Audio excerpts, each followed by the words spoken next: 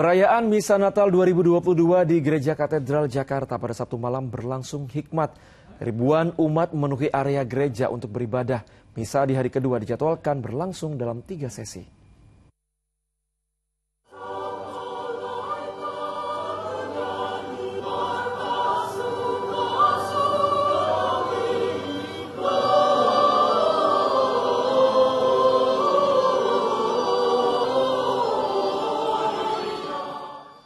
Pada misa hari pertama 24 Desember 2022, Gereja Katedral dipenuhi ribuan umat yang menjalankan ibadah misa.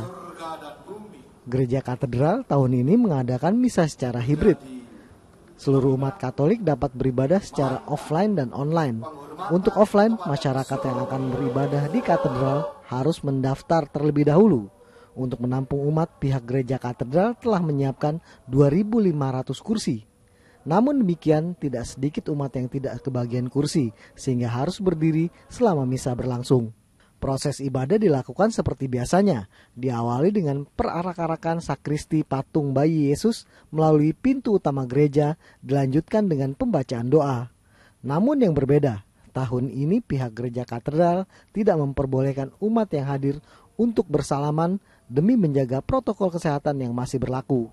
Sejumlah personil polisi berjaga di hampir seluruh sudut untuk mengamankan jalannya peribadatan. Bahkan di luar gereja disiagakan pula anjing pelacak. Sedangkan di gerbang utama, tim gabungan TNI Polri melakukan pemeriksaan ketat setiap umat yang memasuki lingkungan gereja, termasuk pemeriksaan kartu identitas. Dijadwalkan pada hari kedua, misa akan kembali dilangsungkan dalam tiga sesi, Sesi pertama dimulai pada pukul 8.30 pagi dengan kapasitas yang sama. Sesi kedua dan ketiga akan dilakukan pada pukul 11 waktu Indonesia Barat dan pukul 17 waktu Indonesia Barat. Agisa Febila dan Nyoman Muhammad melaporkan dari Jakarta.